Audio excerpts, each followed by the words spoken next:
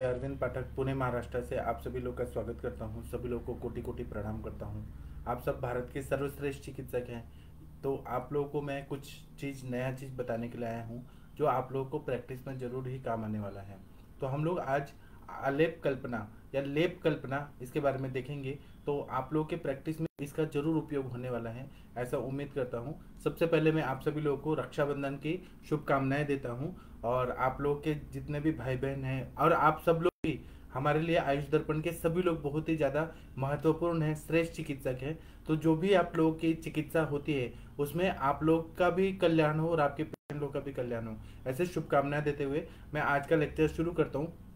आज हम लोग लेप विधि, जो बहुत सारे ग्रंथों में बताया है लेप विधि। तो मैं आज आयुर्वेद के बहुत सारे ग्रंथों से चुन चुन के मैं लेके आता हूँ। उसे उसी में से एक है आर्य वैद्य कलानिधि नाम का एक बहुत ही अच्छा महाराष्ट्र में प्रसिद्ध किताब है, बुक है। उसमें 84 लेप कल्पनाएँ बताई हैं। तो मैं आज जितना बता पाऊँगा, आप लोग सुनिए। आप लोगों को ज़रूर ये काम आने वाला है। इसी तरह से हम लोगों ने चरक संहिता में भी देखा है। आरग वद्य अध्याय जो है, तीसरा चैप्टर जो सूत्र स्थान का है, उसमें भी बहुत सारे लेप, आलेप, प्रलेप, इस सब के बहुत सारे कल्प बताए हैं। तो वहाँ वाला भी बहुत ज़्यादा उपयोगी रहता है। लेकिन जो मैं आर्यवैद्य कला निधि के पुस्तक से जो बताऊँगा, वह ज़रूर आप लोगों को काम आएगा। तो मैं अपना अपना व्याख्यान शुरू करता हूँ। इन सब का मैं प्रयोग करता हूँ। मैंने अपने सर, वैद्य समीर जमद अग्नि सर जी के क्लिनिक में सब सीखा है, देखा है। तो वही नॉलेज में आप लोगों से भी शेयर करने के लिए यहाँ पर आया हूँ। जब हम लोग लेप विधि का पढ़ते हैं तो ग्रंथों में क्या लिखा है वो मैं आप लोगों को बताऊँगा। इसमें बोल रहे हैं कि आलेपस्य च नामानि लिप्तो लेपश्च लेपनम। दोषग्नो विषाह वर्णो मुख लेपस्त्रिधा मतः मतलब आलेप जो रहता है, जो बही परिमार्जन चिकित्सा में आता है बही परिमार्जन चिकित्सा का मतलब है कि जो एक्सटर्नली एप्लीकेशन के लिए जो चिकित्सा होती है, उसको हम लोग मतलब उसके अंडर में जो रहता है, एक अंत परिमार्जन चिकित्सा होती है, जो इंटरनली मेडिसिन दिया जाता है। बही परिमार्जन जो चिकित्सा होती है, वो बाहरी बाहर दिया जाता है। तो मैं आप लोगों को वही सब बताने के लिए आया हूँ। तो उसमें लेप विधि आलेप विधि जो है उसके अन, उसके जो पर्याय नाम है उसके पर्याय नाम क्या है? लिप्त और लेप। ये इसके पर्याय नाम है या आलेप ऐसे बोलते हैं। तो लेप बोल सकते हैं आलिप्त बोल सकते हैं या आलेप बोल सकते हैं। ये तीनों सिनोनिम्स है पर्याय नाम देते हैं। तो ये आलेप जो है ना अपने ग्रंथों में तीन टाइप के बताए कौन से बताए हैं? तो दोषग्न जो दोषों को शमन करते हैं।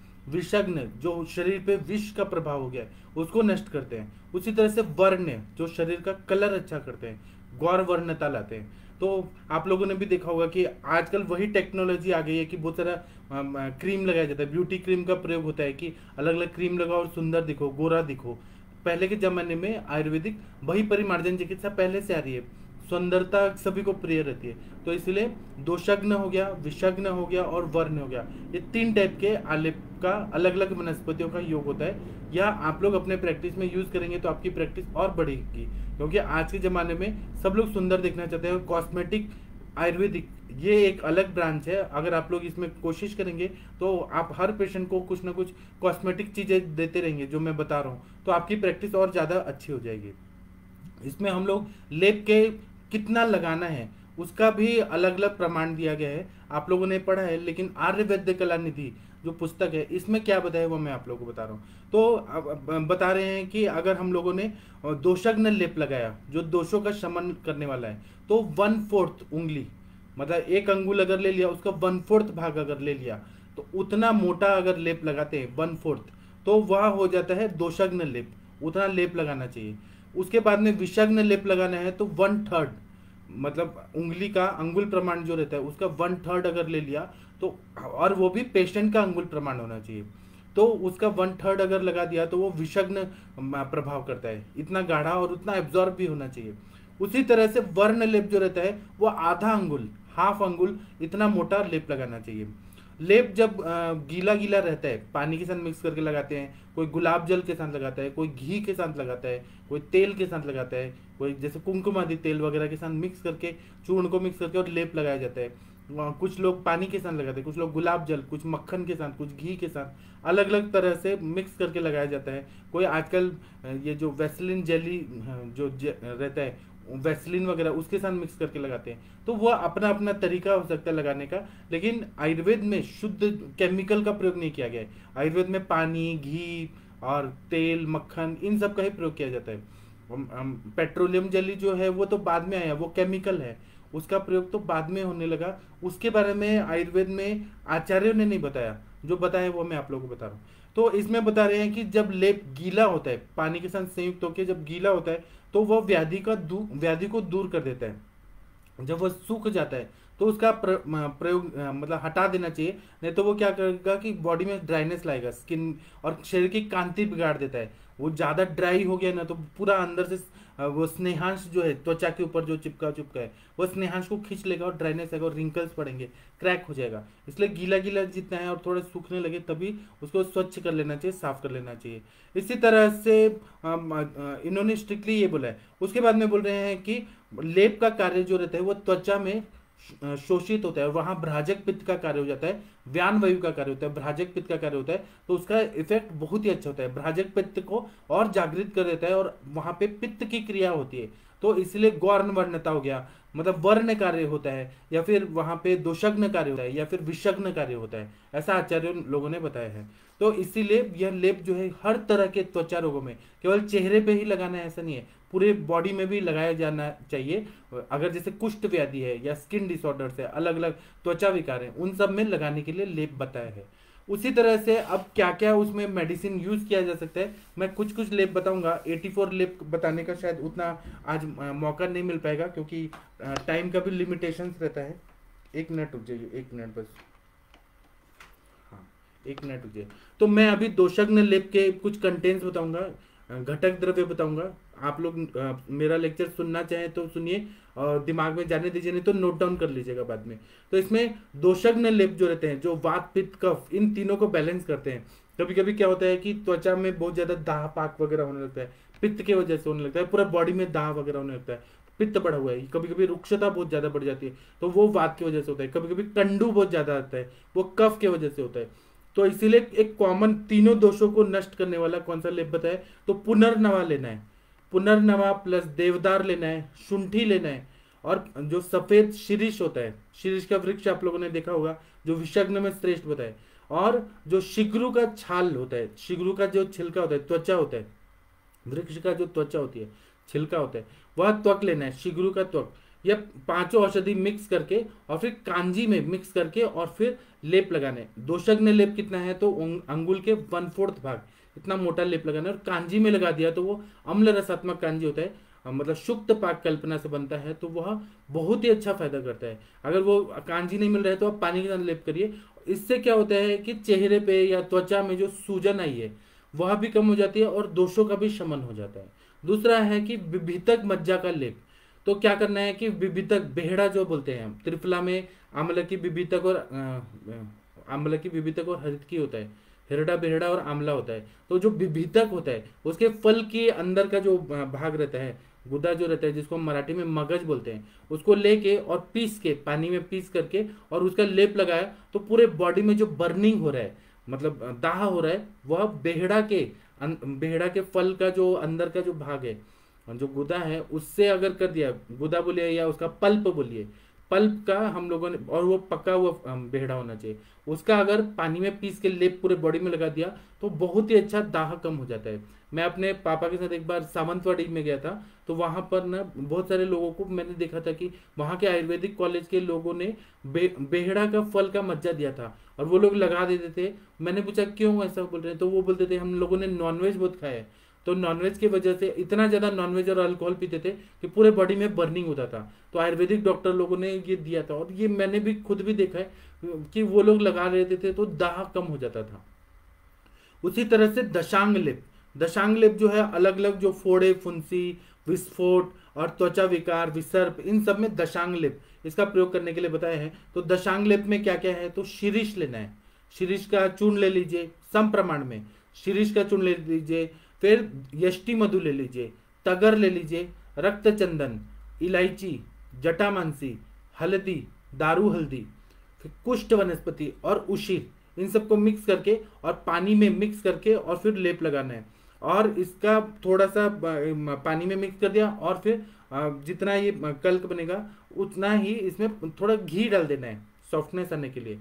थोड़ा वहाँ पे स्निग्धता आने के लिए। और फिर पूरे बॉडी में लेप लगाना है जहाँ पर भी विष विकार हो, विसर्प हो जो जो एरिया में विसर्प है, जहाँ पे विष विकार है, विस्फोट जैसे फोड़े फोड़े आ गए हैं बहुत ज़्यादा। सूज आ गई है और दुष्ट व्रण हो गया वहाँ पर दशांग लेप का प्रयोग बहुत ही अच्छा होता है। दशांग लेप के कंटेंट में फिर से बता देता हूँ, जो आप लोगों को काम है तो शिरीष है यष्टि मधु तगर रक्त चंदन इलायची, जटामांसी, हल्दी दारू हल्दी कुष्ठ और उशीर। इसका प्रयोग करते हैं तो इसका पहले पानी में कल्क बना के लेप कर, लेप जैसा बना देते हैं और उसके बाद में थोड़ा घी डाल देते हैं। स्निग्धता आ जाती है और यह क्या करता है? विसर्प में विष विकारों में, विस्फोट में, जहाँ पे फोड़े फोड़े आ गए पूरे बॉडी में फोड़े फोड़े दाने दाने पॉस्ट्यूल्स वगैरह आ गए उसी तरह से सूज अन्न आ गई है, स्वेलिंग आ गई है और दुष्ट व्रण में दशांग लेप का प्रयोग करने से बहुत ही अच्छा फ़ायदा हो जाता है। इसी तरह से एक होता है विषग्न लेप। विषग्न लेप जो है वो वन थर्ड अंगुली प्रमाण से वन थर्ड इतना मोटा लेप लगाना है। तो ये क्या करना है कि बकरी का दूध लेना है। बकरी के दूध में तिल को पीस देना है और उसके बाद में जो मक्खन होता है, वह डाल देना है और इसको मिक्स कर देना है। बकरी का दूध हो गया, काला तिल हो गया और मक्खन हो गया। इसको मिक्स करके और फिर क्या करना है कि वहाँ पूरे बॉडी में लेप लगाना है। तो कोई भी विषारी चीज़ बॉडी में चला गया पॉइजनिंग हो गया तो वह विषग्न प्रभाव करता है। बकरी का जो दूध होता है, वो विष को दूर करता है और तिल डाल दिया और फिर मक्खन डाल दिया तो और भी अच्छा हो जाता है। इसी तरह से पानी में काली मिट्टी जो रहती है, काली मिट्टी को डाल के और उसमें थोड़ा मक्खन डाल के लेप लगा दिया तो उससे क्या होता है कि जो कभी कभी भल्लातक का बीज लग गया या भल्लातक का तेल लग गया और जलन हो जाती है या फिर जो हाइड्रोक्लोरिक एसिड या कहीं कोई एसिड पड़ गया, उसकी वजह से जो सूज आ जाती है, जल जाता है थोड़ा। तो वह सब काली मिट्टी और मक्खन पानी में मिक्स करके लगा दिया तो वो तुरंत ही काम करता है। आप लोगों ने देखा होगा कि बहुत सारे ऐसे आ, मतलब अत्याचार होते थे मतलब भारत में कि एसिड फेंक देते थे चेहरे पे। तो उस टाइम पे ये का प्रयोग हमारे आचार्य मतलब हमारे सर लोगों ने बताया था। बहुत सारे लोगों ने किया तो बहुत अच्छा फ़ायदा हुआ। असल में एक क्राइम है कि किसी के चेहरा खराब करने के लिए एसिड फेंक दो। हम चिकित्सा के पर्पज से जो भी बात कर रहे हैं वो कर रहे हैं। तो काली मिट्टी को पानी में मिक्स करके, और महाराष्ट्र की मिट्टी जो है वो काली मिट्टी है। जो नॉर्थ इंडिया की गंगा का पूरा बेल्ट है, वो एरिया जो है, वहाँ की मिट्टी गोरी मिट्टी है। और यहाँ पे राजस्थान की मिट्टी है, वो रेगिस्तान वाला मतलब बालू जैसी मिट्टी है। लेकिन महाराष्ट्र की मिट्टी आप लोग देखेंगे तो बहुत ज़्यादा चिपचिपा रहता है, और इसमें विष को नष्ट करने की शक्ति होती है। और बहुत ही अच्छी रहती है तो काली मिट्टी लेनी, एकदम ब्लैक कलर की मिट्टी लेनी। और उसमें पानी डाल के, थोड़ा मक्खन डाल के, और उसको अगर लेप लगा दिया तो जो भल्लातक भल्लातक जो रहता है उसका बीज से या फिर उसके तेल लगने से या कोई एसिड गिरने की वजह से अगर त्वचा खराब हो रही है वो लेप लगाने से विष का प्रमाण पर, परिणाम है वो पूरी तरह से ठीक होते हुए पाया जाता है। इसी तरह से क्या करना है कि नाग भस्म लेना है। नाग भस्म लेना है अति विषा लेना है। उसी तरह से जो कड़ू दूधी लौकी जो रहता है लौकी का बीज जो कड़वा वाला लौकी का बीज होता है और तोरी जो रहता है उसका जो कड़वा तोरी का जो बीज होता है और मूली का बीज, इन सबको मिक्स करके, कांजी में मिक्स करके और लेप लगाना है। तो इससे क्या होता है कि अगर किसी कीड़े ने काट दिया है या फिर मकड़ी ने काट दिया है कीटक जन्य जितना भी विष है, उसका जितना भी बॉडी में दुष्परिणाम हुआ है वह पूरी तरह से नष्ट हो जाता है और विस्फोट रोग है, वह भी नष्ट होता है। फिर से मैं बताता हूँ तो नाग भस्म लेना है, अति विषा लेना है, सब सम प्रमाण में। फिर कड़वा वाला जो लौकी का बीज होता है, कड़वा वाला तोरी का बीज होता है और मूली का बीज, इन सबको पीस के कांजी में मिक्स करके और इसका लेप लगाने से कीटक दंश जन्य जो विष है, कोई भी तरह के की, कीटक ने काट दिया, लूता ने, फिर मतलब जो मकड़ी होती है, लूता ने काट दिया, या फिर कोई कीड़े ने काट दिया और उसकी वजह से पूरा स्वेलिंग आ गया तो वह विष को नष्ट करता है, ये जो मैंने बताया, और इसका ज़रूर हंड्रेड परसेंट फ़ायदा होता है, विस्फोट में भी इसका बहुत अच्छा फ़ायदा होता है, विस्फोट मतलब एक तरह से ब्लिस्टर्स आते हैं, ऐसे फोड़े फोड़े आ जाते हैं बॉडी में वो भी कीड़े ने काट दिया इसकी वजह से। और एलोपैथी में देते हैं वो लोग, लाइफ सेविंग ड्रग्स देते हैं बहुत सारे। लेकिन आयुर्वेद तो उनसे भी पहले है और इसका सच में फ़ायदा होता है। यह मैंने जब मैं पीएचसी और आरएच में था तो वहाँ पे कीड़े काटने से लोग आते थे और वहाँ की खेती में ये लोगों के पास होता ही था। मूली का बीज मिल जाता था आराम से। उसी तरह से तोरी का बीज मिल जाता था। उसी तरह से लौकी का बीज मिल जाता था और अतिविषा भी मिल जाता है। और नाग भस्म में बस मंगवाता था और उसको कांजी में मिक्स कर या पानी में भी मिक्स करके मैं लगवाता था तो बहुत ही अच्छा फ़ायदा होता था। या मैंने पीएचसी और आरएच में जब मैं कर रहा था इंटर्नशिप कर रहा था तो फिर मैंने यूज़ किया। क्योंकि हमारे सर ने बोला है कि प्रैक्टिस करो। मैंने आ, मतलब आ, हमारे सर ने यही सिखाया हमें कि आप जब तक करेंगे नहीं तब तक आप आयुर्वेद में ये लिखा है वो सच में प्रूवन है कि नहीं। तो मैंने ऐसे किया और मुझे सच में अच्छा रिज़ल्ट मिला और इसीलिए मैं आप लोगों को भी बता रहा हूँ। मैं जो भी बताता हूँ वो मैंने यूज़ किया है। आप लोग से भी मैं ये बोलता हूँ कि आप लोग भी यूज़ करिए जब तक यूज़ नहीं करेंगे तब तक कोई फ़ायदा नहीं होगा। इसी तरह से एक है कि रक्त चंदनादि लेप। इसमें क्या होता है कि अगर कांति लाना है कोई बहुत ज़्यादा चेहरा बहुत डल हो गया है चेहरे पे कोई उज्ज्वलता नहीं है, प्रसन्नता नहीं है तो क्या करना है कि रक्त चंदन लेना है, मंजिष्टा लेना है, ये सारे वर्ण वाले द्रव्य हैं, वर्ण करने वाले। तो रक्त रक्त चंदन लेना है, मंजिष्टा लेना है लोद्र लेना है, कुष्ठ लेना है। फिर उसी तरह से व्याघ्र नखी करके एक वनस्पति आती है, जिसको गोविंद फल भी बोलते हैं। उसका गोविंद फल का मूल लेना है, या व्याघ्र नखी मतलब जो सिंह के नाखून की तरह। वो वनस्पति रहती है, उसका मैं फ़ोटो भेजूँगा या आप लोग टाइप करिए। व्याघ्र नखी वनस्पति। गूगल में देखिए, आपको फ़ोटो मिल जाएगा। तो उसका मूल लेना है, या फिर जो बरगद होता है, बरगद के जो ऐसे जो, ऐसे ऐसे जड़ जो नीचे आ रहे होते हैं, वटांकुर से आगे वो ले लेना है। और इन सबको, और फिर मसूर दाल, इसका आटा लेना है। ये विषग्न रहता है। तो इसको क्या करना है कि पीस देना है। और पीस के पानी में पीस के अच्छे से और पहले के ज़माने में होता था कि मिक्सी से ज़्यादा सिलबट्टे पे पीसा जाता था। तो सिलबट्टा से पीसते हैं ना तो वो और ज़्यादा गुणकारी होता है क्योंकि टाइम लगा के बहुत फोर्सफुली पीसा जाता है। आजकल मिक्सी में पीसा जा रहा है लेकिन उसमें गर्मी पैदा होती है बहुत फास्ट किया तो, तो आपको जैसे भी सुविधा है वैसे करिए। तो इससे क्या होता है कि जो एक्ने रहता है जो चेहरे पे ऐसे झाइया झाइया पड़ जाते हैं जिसको हम एक्ने बोलते हैं जिसको मराठी में वांग बोलते हैं व्यंग बोलते हैं। तो वह पूरी तरह से नष्ट हो जाता है या और चेहरे पे कांति आ जाती है। फिर से मैं बताता हूँ तो रक्त चंदन मंजिष्टा, लोद्र, कुष्ठ वनस्पति और व्याघ्र नखी या फिर गोविंद फल का मूल जो बोलते हैं व्याघ्र नखी को ही गोविंद फल बोलते हैं, उसका मूल। और जो बरगद का जो ये जो जड़ होती है, बरगद के जो अंकुर से जड़ निकलती है, उसको लेके और इन सबको और फिर मसूर दाल का आटा। इन सबको पीस के और फिर उसको पानी में पीस के अच्छे से और उसका लेप लगाना है तो व्यंग पूरी तरह से ठीक होता है। या फिर चेहरे पे कांति लाना है तो वो बहुत अच्छा फ़ायदा होता है। कांजी मिले या ना मिले आप लोग, पानी के साथ भी इसका प्रयोग कर सकते हैं तो बहुत ही अच्छा फ़ायदा होता है। इसी तरह से आप लोगों को मालूम है कि मातुलुंग नाम का फल होता है। मातुलुंग का मूल लेना है हमें। उसी तरह से घी लेना है, मनहशिला लेना है। और गाय का जो गोबर का रस है वो लेना है और इसको मिक्स करके पूरे चेहरे पे लगाना है। आप लोग बोलेंगे गोबर का रस क्यों डाल रहे हैं? लेकिन आप लोग को पता नहीं, ये बहुत ही अच्छा वर्ण है। गोबर को रस से पीस के और उसका प्रयोग करना है।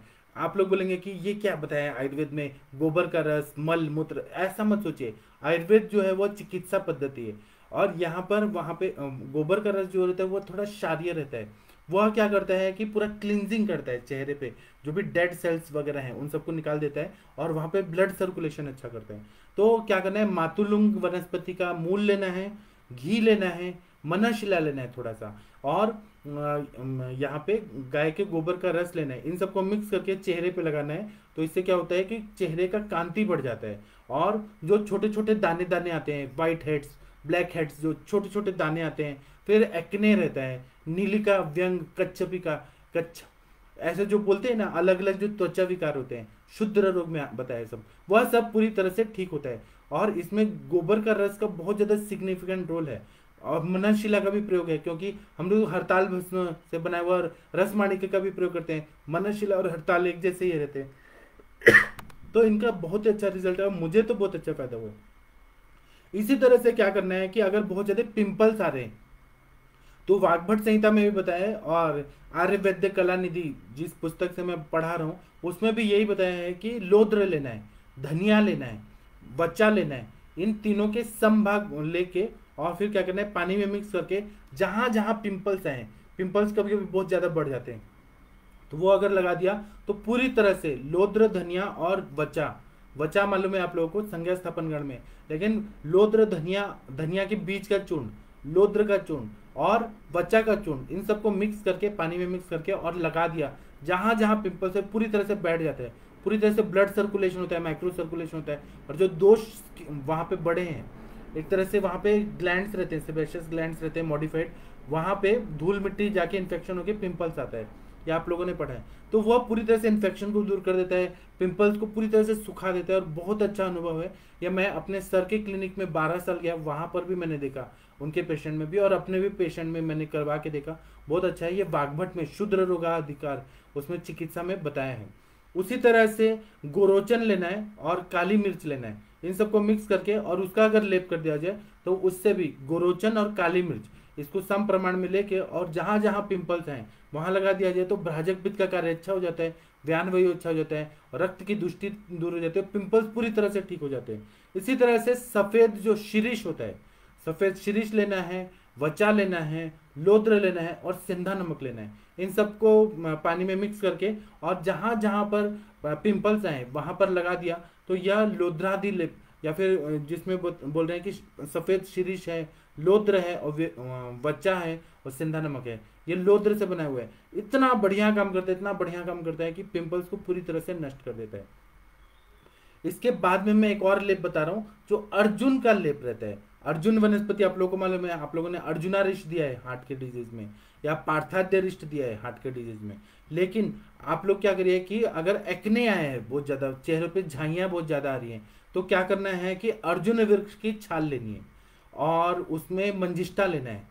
अर्जुन वृक्ष की छाल का चूर्ण लेना है, मंजिष्टा लेना है, मधु में मिक्स करके उसका लेप करना है तो इससे एक्ने पूरी तरह से ठीक हो जाता है। बहुत सारे क्या होते हैं पोस्ट मेनोपोजल या प्री मेनोपोजल या आ, मतलब आफ्टर थर्टी ईयर्स चेहरा पे बहुत ज़्यादा ऐसे झाइयाँ झाइयाँ आने लगती है एक्ने पूरा फैलने लगता है। तो बहुत सारे लोग परेशान होते हैं क्योंकि सौंदर्य कम होने लगता है। तो एक्ने को दूर करना है तो नेचुरल जो वनस्पतियाँ हैं इनका साइड इफ़ेक्ट नहीं होता है। और आप केमिकल से भी यूज़ कर सकते हैं कॉस्मेटोलॉजिस्ट के पास जा सकते हैं डर्मेटोलॉजिस्ट के पास जा सकते हैं। वो आपको ट्रीटमेंट देंगे लेकिन वो जड़ से निकलना चाहिए। इसीलिए क्या करना है कि अर्जुन अर्जुन वृक्ष का छाल लेना है। मंजिष्टा लेना है इनका चूर्ण सम प्रमाण में मिक्स करके और मधु के साथ मिक्स करके और लेप लगाना है। एक्ने पूरी तरह से ठीक होता है। मैं जो भी बता रहा हूँ, यह प्रूवन है और मैंने अपने प्रैक्टिस में दिया है। वही चीज़ मैं आप लोग को बता रहा हूँ। इसी तरह से क्या करना है कि जो सफ़ेद घोड़ा होता है व्हाइट कलर का ही घोड़ा होना चाहिए। उसका जो खुर होता है, पैरों में जो खुर होता है, वह लेना है और उसका ना, उसको जला देना है। उसको जलाने के बाद जो उसका मशी आएगा, उसको मक्खन में मिक्स करके और उसका आप अगर लेप लगाएँ तो वह भी जो एक्ने है, उसमें बहुत अच्छा फ़ायदा होता है। वह मैंने यहाँ पे रेस कोर्स है तो जो घोड़ों का जो खुर होता है ना, कभी कभी वहाँ घोड़े की नाल लगाया जाता है। तो वो लोग थोड़ा घिसते हैं। तो जो सफ़ेद घोड़े होते हैं ना, वो जो घिसते हैं ना तो वहाँ से मैंने बोला कि मुझे थोड़ा सा पाउडर चाहिए आपके वो। और वो मैं लेके आया, मुझे एक पाव दे दिया गया था, जहाँ पे सफ़ेद घोड़े ही रहने चाहिए। तो उनके नाल को मतलब वो खुर के भाग को लेके और उसको मैंने जला के राख बनाया। और उसमें मक्खन डाल के थोड़ा थोड़ा मैंने पेशेंट को दिया एक्ने के पेशेंट बहुत ही अच्छा फ़ायदा होता है। तो आप लोग भी इसका प्रयोग करेंगे तो ये कॉस्मेटिक बहुत ही अच्छी दवाई है। इसी तरह से अगर ना चेहरे पे कालापन आ गया है हाइपर पिगमेंटेशन आ गया है, ऐसे बड़ा सा दाग आ जाता है और समझ नहीं आता कि क्या करना है।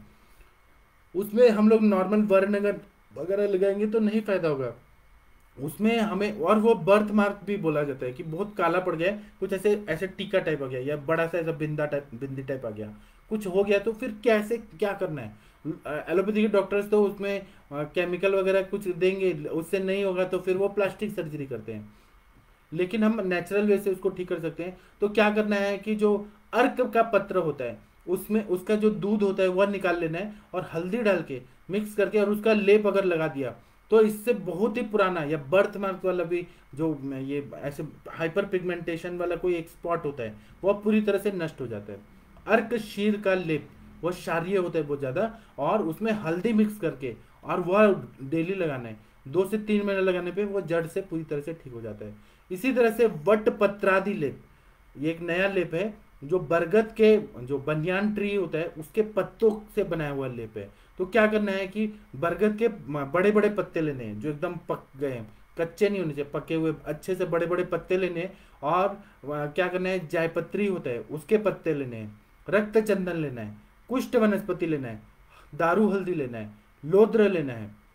ये छह औषधियाँ हो गई। फिर से मैं बताता हूँ तो बरगद के जो पके हुए बड़े बड़े पत्ते हैं जायपत्री का जो जायपत्री रहती है, वो पत्ते ले लेने हैं। फिर उसके बाद में रक्त चंदन लेना है। कुष्ठ वनस्पति लेना है, दारू हल्दी लेना है और लोद्र लेना है। इन सबको पानी में मिक्स करके और जहाँ पर भी ये आ गया पिंपल्स हो गए हैं, उसमें बहुत अच्छा फ़ायदा होता है। अगर एक्ने आए हैं, जिसको व्यंग बोलते हैं झुर्रिया पड़ रही हैं और पूरा एकदम अलग ही तरह का ये ऐसे पैटर्न से वो आ रहा है, या बिना पैटर्न से आ रहा है, जिसको व्यंग बोलते हैं और नीलिका आ रही है, जो डार्क होता है वो नीलिका बोलते हैं। तो वह सब में ये बरगद का पत्ते जयपत्री का जो पत्ता है, वह रक्त चंदन कुष्ठ, दारू, हल्दी और लोद्र। इसका अगर पानी में मिक्स करके लेप डेली लगाया जाए तो तीन चार महीने में वह पूरी तरह से तारुण्य पिटिका अच्छे से ठीक हो जाती है। पिंपल्स ठीक हो जाते हैं, व्यंग ठीक हो जाता है नीलिका पूरी तरह से ठीक हो जाता है। इसी तरह से एक पिंड्याकादि लेप बताया वो क्या करना है कि तिल जो रहता है, तिल का पुराना जो गजक होता है, या पिंड होता है वह ले लेना है, पुराना वाला गजक चाहिए। और जो मुर्गी का जो विष्टा होता है, वह लेना है, दोनों को मिक्स करना है और उसके बाद में गोमूत्र डालना है और उसको मिक्स कर दें और तो फिर उससे जो डैंड्रफ होता है, उसमें अगर लगाया जाए पिंड्याक आदि लेप तो इससे बहुत पिंड्याक तिल के जो गजक टाइप बनता था ना मिठाई, उसको बोलते हैं। तो वह, आपके पास पुराना गजक है तो उसका भी काम आ जाता है, कितना बढ़िया है ये। तो मुर्गी या मुर्गा का जो विष्टा है, वह लेना है और तिल का जो गजक होता है, पिंड होता है पिण्याक। वह ले लेना है और उसमें गोमूत्र डाल के लेप जैसा बनाना है। और वो डेंड्रफ जहाँ जहाँ हुआ है, वो रूट पे लगा दीजिए पूरा डेंड्रफ पे पूरा। तो वो पूरी तरह से इसको ठीक कर देता है। वो विषग्न भी है और वहाँ उसके जो इन्फेक्शन हुए हैं, जिसकी वजह से स्कैल्प इन्फेक्शन की वजह से जो डेंड्रफ आ रहे हैं, वो पूरी तरह से अरुणशिका जो बोलते हैं, दारुणक और अरुणशिका वो पूरी तरह से नष्ट हो जाता है। उसी तरह से एक लेप है, खदीर आदि लेप। खदीर आदि लेप में क्या करना है कि खदीर लेना है। नीम लेना है जो कड़वा वाला नीम का पत्ता है वो ले लेना है। या फिर आप पंचांग ले लीजिए उसकी छाल ले लीजिए उसके पत्ते ले लीजिए। पंचांग में ले तो ठीक है पत्ते और छाल ज़्यादा यूज़ होता है। खदीर ले लेना है और जामुन लेना है। इन तीनों को मिक्स करके इनके चूर्ण को मिक्स करके गोमूत्र में मिक्स करके और लेप लगा दिया।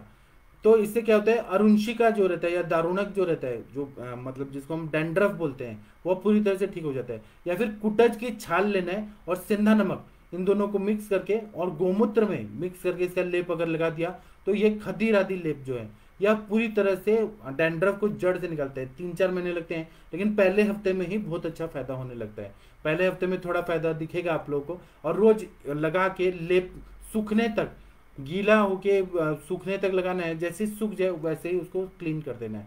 फिर से मैं बताता हूँ, खदीर लेना है, नीम और जामुन, इन सबको लेके और गोमूत्र में मिक्स करके और इसका लेप लगाना है, जहाँ जहाँ पर डेंड्रफ हुआ है, पूरी तरह से उसको नष्ट कर देता है। या फिर कुटज की छाल लेना है, सिंधा नमक लेना है, इन सबको ले, इन दोनों को लेके और गोमूत्र के साथ इसको लेप लेप की तरह लगाना है तो यह अरुणशिका या दारुणा को पूरी तरह से ठीक कर देता है।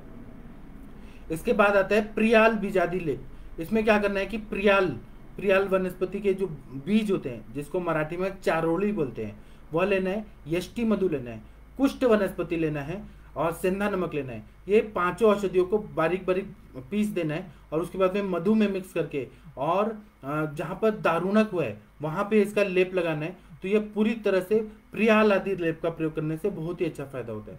फिर से मैं बताता हूँ, ये दारुणक के लिए लेप है। चारुली या प्रियाल का बीज लेना है और यष्टि मधु लेना है, कुष्ठ वनस्पति लेना है, उड़ीद लेना है, सिंधा नमक लेना है। इन सबको बारीक पीस के और इसको मधु में मिक्स करके और इसका अगर लेप लगा दिया जाए, पूरे मस्तक पे पूरा सब जगह लगा दिया जाए तो ये दारुणा क्या, जो ये रहता है, डेंड्रफ रहता है, वो बीमारी में बहुत ही अच्छा फ़ायदा हो जाता है।